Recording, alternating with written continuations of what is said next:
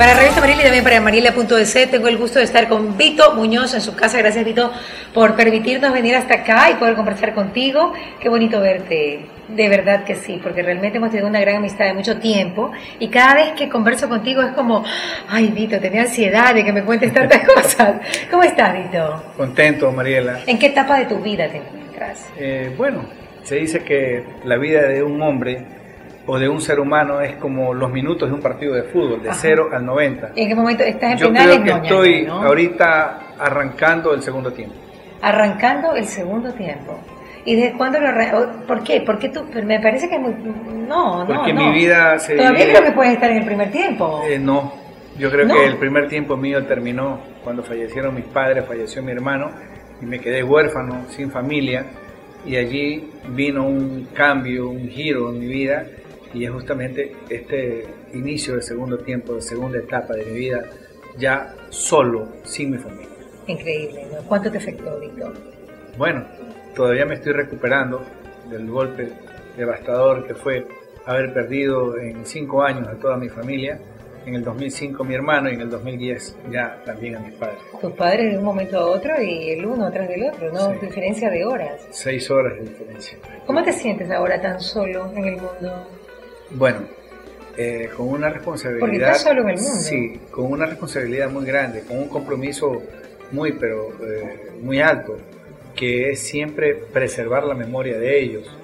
Y dentro de eso lo más importante, que es para mí poner en práctica todos esos principios, esos valores que me inculcaron desde niño y que también recibí de parte de los maestros que tuve y de grandes amigos que siempre me han aconsejado y me he dejado guiar por personas muy sabias y bien intencionadas. Claro. Y el mito de Vito Muñoz Hogarte de ser el muñeco de la ciudad, ¿cuánto ha aportado en tu vida y cuánto te ha quitado? Mira, quitarme no me ha quitado nada porque nadie me quita lo bailado. ok. Y aportarme mm, quizás experiencia, ¿no? Experiencia. ¿Por qué experiencia? Porque yo tengo, por ejemplo, amigos que lamentablemente no toman decisiones y creo que el peor error que una persona puede hacer es vivir de las apariencias. Ok. ¿A qué te refieres? Tienen problemas dentro de sus hogares. Yo siempre he dicho algo que leía una vez a un gran, gran, gran hombre de mundo. Prefiero ser inestable y no infeliz. Ok. ¿Me entendí? Ok, te entendí perfectamente. O sea, te consideras- definitivamente inestable. No, definitivamente no. Yo creo que fue una etapa, por eso digo, mi vida, ¿Y por qué estás estable ahora? porque encontré una persona que en todos los planos me llena. Elizabeth. en todos. en todos los planos te llenas. Sí, en todos. ¿Qué tiene ella de diferente? Todos. Ya, pero, ok. Todo. Coco Chanel decía que para ser única hay que ser simplemente diferente, ¿no? Entonces, yo te digo, Vito, ¿qué encontraste en ella de diferencia, pues, en- de las otras enamoradas que has tenido? Bueno, para empezar, de que ella está en todos los ambientes en que yo me muevo. Ella participa de las decisiones más importantes que tomo al día y es algo que a mí me hace sentir que no solo tengo a mi lado un cuerpo bonito, una cara bonita, sino también tengo una mente que produce, tengo un corazón que transmite. Entonces, realmente cuando uno está al lado de una persona que no solamente tiene cara, cuerpo, rostro y cadera, Como sino la también tiene mente y corazón, es cuando uno siente una relación íntegra. Claro que sí, y así te sientes ahora. Ok, no lo había sentido antes. No, no lo había sentido antes, Pero, pero pienso Ya. que quizás no lo había necesitado antes. Ah, mira tú. ¿sí? Entonces por eso de pronto... ¿Y qué este, necesitabas antes? Lo que tenía antes. ¿Qué tenías antes?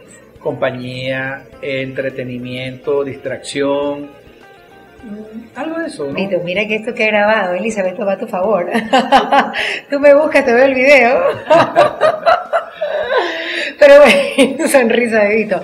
Pero bueno, es importante que en este segundo tiempo que quieres vivir, pues me imagino que tengas un proyecto de vida con Elizabeth. ¿Y cuál es tu proyecto de vida?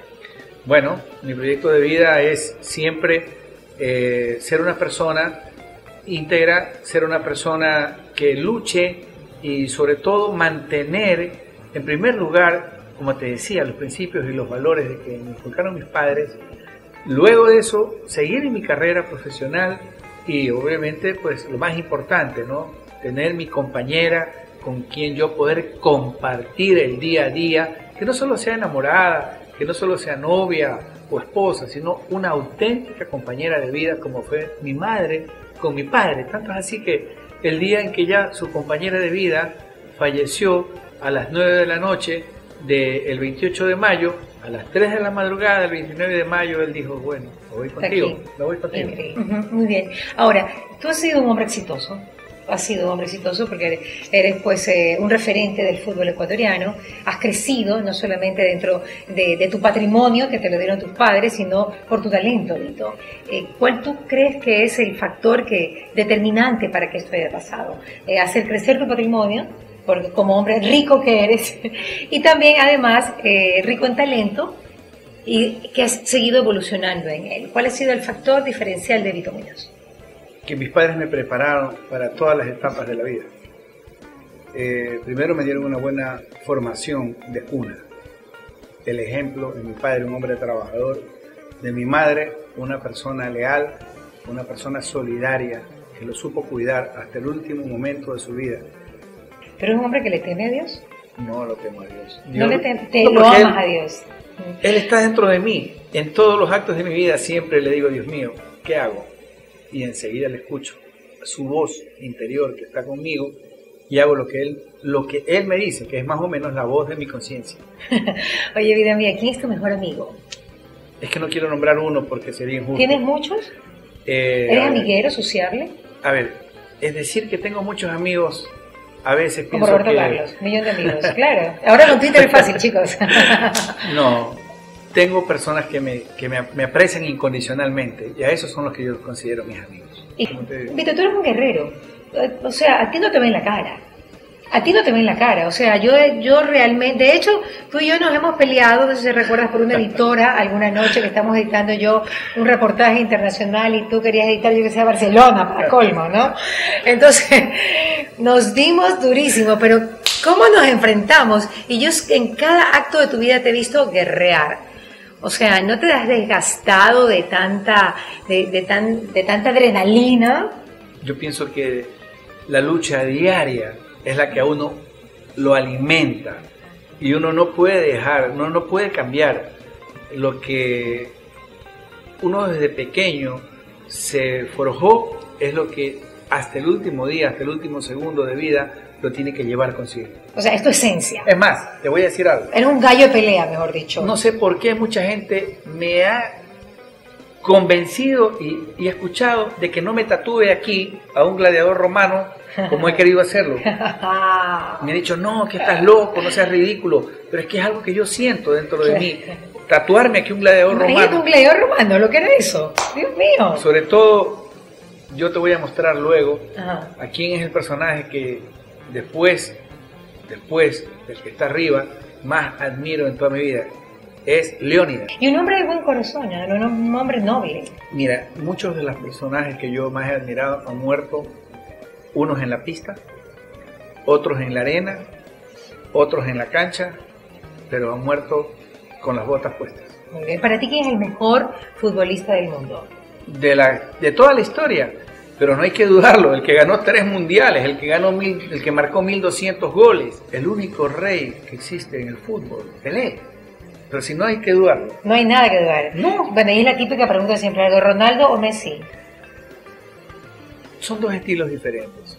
A los dos los admiro. Ronaldo porque es una personalidad auténtica, auténtica, auténtica, auténtica. Él hace lo que, lo que él siente.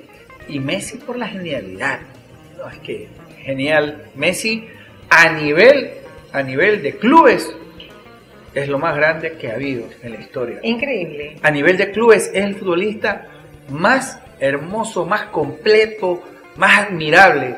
Pero un futbolista no solo se lo tiene que evaluar por los clubes, sino por lo que hizo en las selecciones y en los clubes. Y allí es cuando Pelé le saca la ventaja al haber ganado tres mundiales. Oye, ¿por qué admiras tanto a Mauriño? Eh, pues Mauriño es un director técnico que fue del Real Madrid, ahora creo que está en el Chelsea, ¿puede ser? No, ¿dónde está? Yo miro a la gente auténtica, Pero por eso te admiro a ti. Tan bello que eres. Es que sí, pues nosotros... Mauriño es un loco, ¿no? No, no es un loco. Ah, pero ¿sabes qué? Me cayó bien porque defendió a Argentina en, el, en, en la final del Pues, Mundial. Sí. Defendió a Argentina, Sí, sí, defendió a Messi cuando todo el mundo le dio palo, ahora defiende a Casillas, que Ah, fue el que lo boicoteó en el Real ¿cómo? Madrid. Ah, pero, claro, pues, pero no entiendo. es Si se noble, mal. pero es un hombre noble. Oye, escúchame algo. ¿Y qué le pasa a Barcelona? Eh, creo a Barcelona solo lo soluciona que venga un magnate, pero que no tenga una chequera, sino tres chequeras. Una para pagar los 20 millones de déficit que tiene. Otro para otra chequera para pagar el día a día y la otra para reforzarlo el equipo. Son tres chequeras. Los Novoa, mis respetos, han pagado 7 u 8 millones del déficit del equipo. Hay que ¿Y pagar tú que deudas tienes chequeras, tú no quisieras invertir en Barcelona, por ejemplo? O sea, digo yo, no, no quisieras ser presidente de Barcelona o algo con Barcelona, porque ya que puedes y lo Hay quieres tanto refrán, a Barcelona, Hay una frase de Alejandro Sanz en una de sus canciones que dice, te lo agradezco, "Te lo pero no. agradezco, pero no. Ya para finalizar la entrevista, ¿de qué tienes certeza, Vito, en la vida? De lo que todos los seres humanos tenemos certeza. De que cuando vamos a la caja, la caja es para todos de madera Claro, así es. y ahí es cuando recién descansamos. Por lo tanto, cuando me dicen descansa, vieja, no, yo voy a llegar a la caja y ahí en la caja voy a descansar. Y ahí es cuando realmente se acaban los problemas, porque los problemas son diarios. los problemas son de siempre, no Esa porque la tenga única, plata, porque no tenga plata. la no, única certeza que, la que única todos certeza. tenemos en la vida. Dueños de nada, ¿no? Que Dios administre los bienes que nos permite tener. En todo caso, Vito Muñoz, tú tienes muchos y yo me imagino que para ti es muy importante también la sabiduría que estás pidiendo en esta segunda Y- etapa y de tu vida, en este y sobre segundo todo partido. la salud. Mi querido Vito, me encanta haber estado contigo. Gracias, Gracias, por recibirnos en tu casa. Gracias, Elizabeth, a ti también. Mayrita de mi vida, muchas gracias. Y bueno, estamos aquí, ya saben, como siempre, para la revista Mariela y también para mariela.es.